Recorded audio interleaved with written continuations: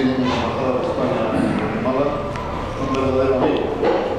Y siento una gran satisfacción y un gran orgullo de tener aquí a un compatriota, eh, Jorge López Bachiller, que es un enamorado del país, eso está clarísimo, es un patsumero adoptivo de lo mejor y es un hombre que es un embajador permanente del Patsum con todos nosotros, no solamente con la Embajada de España, sino con todas las instituciones y con todas las entidades Es una gran satisfacción, por eso, eh, visitar esta, esta ciudad, conocerla mejor, que creo también es una cosa muy positiva para el embajador, conocer mejor el país, conocer sus inquietudes y sobre todo, usando la terminología guatemalteca, quedo a la orden y siempre, y siempre.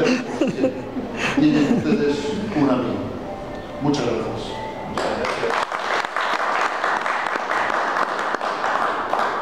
Muy buenos días a todos y, a las aquí.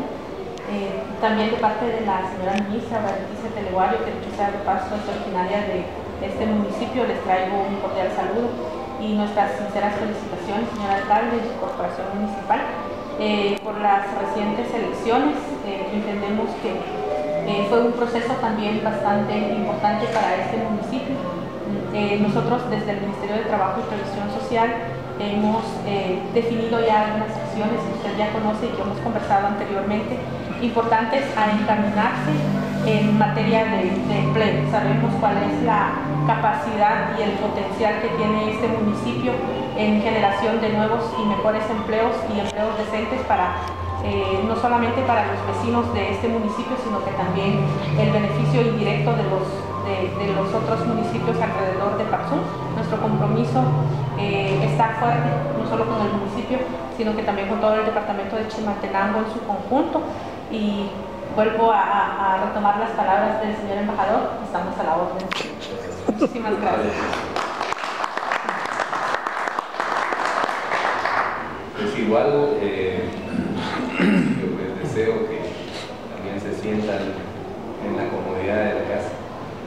Eh, lo para mí es un gran gusto, es un gran honor poder contar con la visita y sobre todo agradecerles, agradecerles porque sabemos que la agenda de cada uno de ustedes seguramente con muchas acciones, muchas actividades, pero la verdad es que también es eh, interesante y relajante muchas veces poder salir.